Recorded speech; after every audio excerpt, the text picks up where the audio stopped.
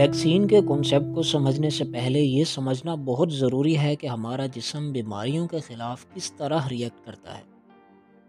बीमारियाँ फैलाने वाले जरासीम यानी बैक्टीरिया वायरसेस या पैरासाइट्स वगैरह हमारे इर्द गिर्द हमारे माहौल में हर जगह मौजूद होते हैं।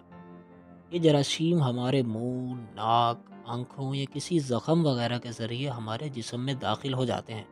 इस किस्म के बीमारी फैलाने वाले जरासीमों से लड़ने के लिए हमारे जिसम में एक पूरा दिफाई निज़ाम मौजूद होता है। इस निज़ाम को इम्यून सिस्टम कहा जाता है। इसके पास लाखों करोड़ों की तादाद में सोल्जर्स होते हैं और ज़रूरत पड़ने पर यह करोड़ों नए भी बना लेता है। अब जैसे ही ये जरासीम हमारे जिसम में दाखिल होते हैं तो इन्हें मारने के लिए जिसम का मुदाफ़ती निज़ाम इम्यून सिस्टम एक्शन में आ जाता है। लेकिन ये एक्शन थोड़ा स्लो होता है। डिपेंडिंग अपॉन कि किस किस्म के जरासीम हैं, हमारा इम्यून सिस्टम इस हिसाब से चंद दिन या चंद हफ़्ते ले लेता है इन जरासीमों के ख़िलाफ़ एक्शन लेने में। इस दौरान हम बीमार रहते हैं और जैसे ही इम्यून सिस्टम इन जरासीमों पर हमला करके इन्हें ख़त्म कर देता है तो हम सेहतियाब हो जाते हैं। अगर बीमारी बहुत ही मामूली किस्म की हो तो इम्यून सिस्टम खुद ही इससे लड़कर इसे ख़त्म कर देता है।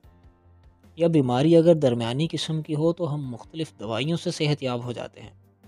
लेकिन अगर बीमारी काफ़ी सीरियस किस्म की हो, जैसे पोलियो टेटनस या खसरा वगैरह तो हमारे इम्यून सिस्टम के पास इस कदर सलाहियत नहीं होती कि वो इन ताकतवर जरासीमों को ख़त्म कर सके। और यहीं पे इस्तेमाल किया जाता है वैक्सीन का। हर बीमारी की एक अलग वैक्सीन होती है। मसलन हम खसरे की वैक्सीन की बात करते हैं तो खसरे की वैक्सीन में खसरे के ही जरासीम का कोई एक हिस्सा या मुकम्मल जरासीम मुर्दा या कमज़ोर हालत में शामिल होते हैं। यानी किसी भी बीमारी की वैक्सीन इसी बीमारी के जरासीमों पर मुश्तमिल होती है, जो कि जिसम में टीके या औरल वैक्सीनेशन के ज़रिए दाखिल कर दिए जाते हैं। ये जरासीम जिसम में जाके बीमारी की वजह बिल्कुल नहीं बनते, क्योंकि ये इनएक्टिव हालत में होते हैं। इम्यून सिस्टम इन जरासीमों से लड़ता है और इस दौरान इन जरासीमों के बारे में तमाम मालूम यानी ये कैसे दिखते हैं, इनके लड़ने का तरीक़ेकार क्या है, वगैरह वगैरह।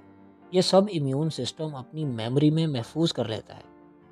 चुनाचा अगर यही जरासीम जिसम पे दोबारा एक्टिव हालत में भी हमला करते हैं तो इम्यून सिस्टम फ़ौर एक्शन में आता है और आसानी से इन तमाम जरासीमों का ख़ात्मा कर देता है। खुलासता ये कि वैक्सीन का काम सिर्फ़ इतना है कि यह हमारे जिसम के मुदाफ़ती निज़ाम इम्यून सिस्टम को किसी ख़ास बीमारी के ख़िलाफ़ मज़बूत तर बना देती है।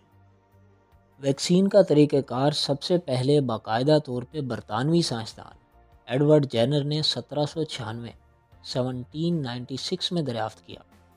दो मिलती जुलती बीमारियाँ इसकी वजह बनी स्मॉल पॉक्स यानी चीचक, और काव पॉक्स ये चीचक की ही एक किस्म थी जो कि गाय के थनों पर होती थी, और फिर वहाँ से इंसानों में मुंतकिल होती थी। अठारहवीं सदी के यूरोप में हर साल तकरीबन चार लाख लोग सिर्फ़ स्मॉल पॉक्स कीचक की वजह से हलाक हो जाते थे। ये सिर्फ़ यूरोप की हलाकतों की तादाद थी, बाकी दुनिया की नहीं। तो एडवर्ड जैनर ने यह सुन रखा था कि जिन लोगों को काउ पॉक्स की बीमारी हो जाए, इनको फिर स्मॉल पॉक्स यानी चीचक की बीमारी नहीं लग सकती। लिहाजा इन्होंने तवील तहकीकात और रिसर्च के बाद एक तजर्बा करने का फ़ैसला किया। इन्होंने एक आठ साल बच्चे को पहले काउ पॉक्स के मवाद का टीका दिया। वो बच्चा बीमार हुआ, लेकिन इलाज करने पर सेहतियाब हो गया। फिर इसी बच्चे को स्मॉल पॉक्स चीचक के मवाद का टीका दिया गया। लेकिन बच्चे को चीचक की बीमारी नहीं लगी। फिर जैनर ने एक ऐसे शख्स को चीचक का टीका लगाया जिसे पहले काउपॉक्स का टीका नहीं लगाया गया था। नतीजतन इस आदमी को चीचक की बीमारी निकल आई।